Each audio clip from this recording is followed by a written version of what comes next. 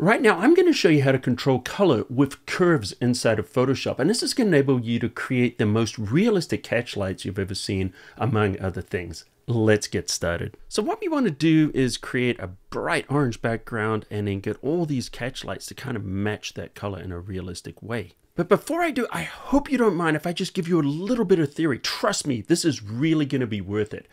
So I'm going to hit Control Command M to open up curves. We will work for an adjustment layer in a second, but there's something I want to show you.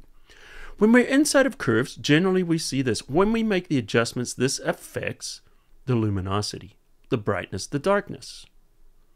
But when we go into the color channels, we're actually going into different mode. When we're in these color modes, they don't affect the brightness, they affect the color.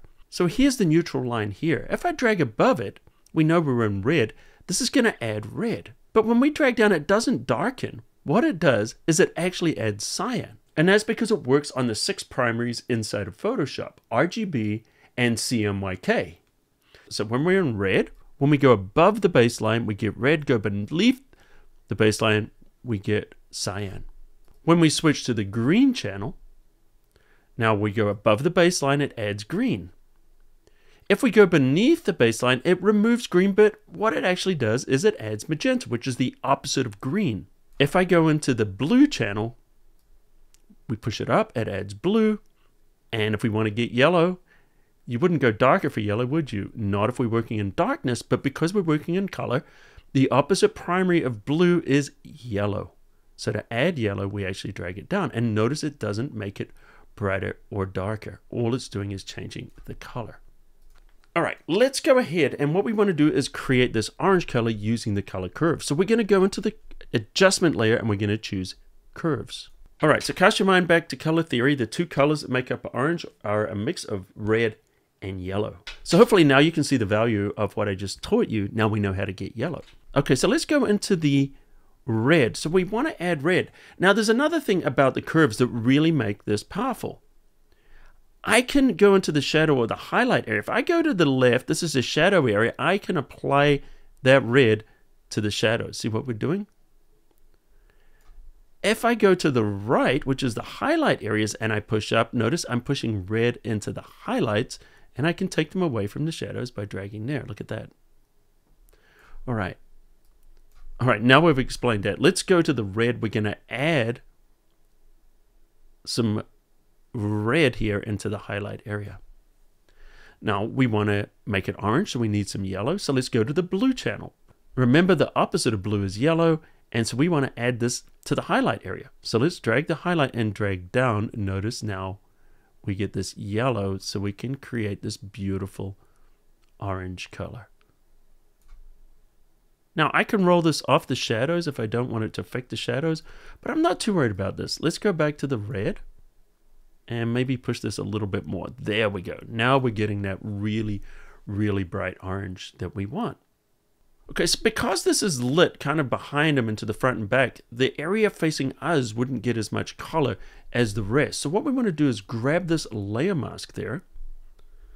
Then we're going to hit a brush. We're going to hit B for the brush. And then I can paint this away with black. All right, so let's click on the color picker. Make sure that we are choosing black as our foreground color. Now I don't want to take this all the way down.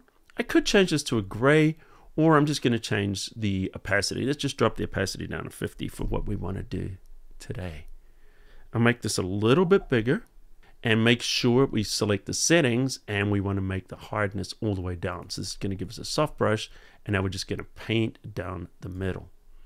And notice when I did that, notice it's giving us a more realistic kind of a look with the orange kind of hitting these other areas. Okay, we can touch this up a little bit in some of the areas that maybe wouldn't be getting as much of the color.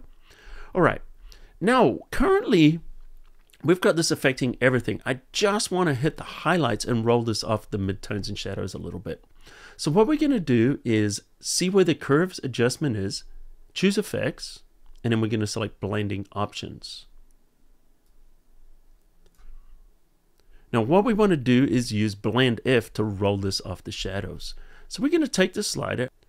Okay, we're going to just roll it off. And notice we get these very rough edges. So we're going to smoothen those out. Hold down the Alt option and then drag one side of the triangle. We're going to split it. Drag it all the way back. Notice now we have a smoother transition. Now, as we drag this more, you'll notice that it's rolling that color away from more of the image. So if we go to the middle, now it's just going to hit the midtones and brighter. The shadow midtones are not going to have that color anymore. And if we look at this before and after, you can see now it's affecting us more where this color is bouncing off these highlight areas. So if we look at this, here's our image before, here's our image after. So if you wanted to put a different background on there, of course you could. And all you need to do is cut it out. And now you're going to have the very realistic looking colored reflections on this image. So I'm curious if you learned anything new, if this is useful, let me know in the comments. And also, did you like it when I bit, went a bit more in depth or would you prefer I just keep it fast paced? I'm also curious. Let me know in the comments. And if you're new, welcome to Photoshop Cafe. Hit the subscribe button, turn on notifications, and you won't miss a single one of my tutorials. And uh, smash that like button into dust. And until next time, I'll see you at the cafe.